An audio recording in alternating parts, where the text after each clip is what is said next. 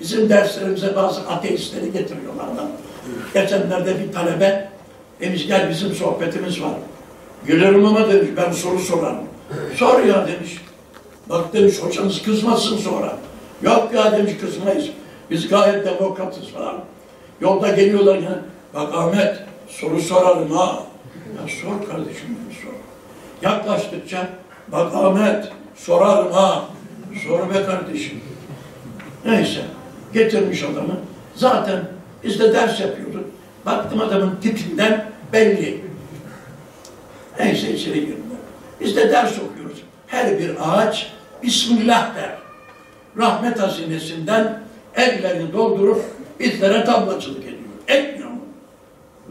Tutumu kopar, kirazımı kopar, elmamı kopar, şeftalimi kopar, kayısımı kopar. Uzatıyor.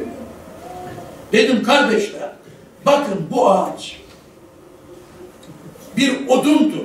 Odun. Bizi tanımaz, sevmez, bilmez, aklı yok, ilmi yok, okula gitmedi, kursa gitmedi. Bana öyle bir şeftali dalından uzatıyor. Rengi gözümün hoşuna gidiyor. Kokusu burnumun hoşuna gidiyor. Tadı ağzımın hoşuna gidiyor. İçindeki vitamin vücudumu besliyor. Bir odun daha var. O da portakal uzatıyor. Bir odun daha var. Üzüm uzatıyor. Bir odun daha muz uzatıyor. Bir odun daha kestane, ceviz, fıstık, fındık, greyfurt. Allah Allah.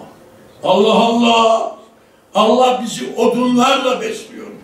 Eğer biz bu odunların arkasında Rahman'ın elini görüp şükürle öpemezsek odun gibi gideriz öbür tarafa. Doğru cehennem sopasına. Oturturlar bir kütüğün üstüne alttan sıtmalı. Alttan yanar dumanları burnundan çıkar. Böyle anlattık okuduk. Şimdi o kardeş de arada bir ona soruyor. Sorunu sor, sorunu sor. O da diyor, yanıtımı alıyorum, yanıtımı alıyorum. sor, sorsana hocaya. Yanıtımı alıyorum, yanıtımı alıyorum. Kanıtlanıyorum. Sonra çocuk giderken tanıştırdı bana. Çocuk böyle gelmiş. Giderken de böyle Giderken dedi, çok değişik bir üslubunuz, kitaplarınızdaki dersler çok değişik, çok enteresan, çok dedi. Hoşuma gitti gerçekten dedi. Hoşuma gitti. Bak kafası gitti. İşte Kur'an'ın elmas kılıncı ona bir tane patladı. Tak! Bu kafa değil. İçindeki gurur, enaniyet, küfür kesildi. İşte Peygamberimiz Efendimizin hadisi şerifi var. Ahir zamanda diyor. Bir zat gelecek. Gelecek. Bakacaksın kardeşim. Görebilirsen gör. Onun elinde bir kılınç olacak diyor. O kılınç diyor her yere uzayacak. Şimdi böyle kılınçlı birini bekliyor bazı mübarekler. Gelmedi uzattı gerçek. Elinde kılınç olacak, uzayacak. Nasıl uzayacak? Lazer ışınları gibi. ya peygamberin böyle bir kılıncı yoktu ki.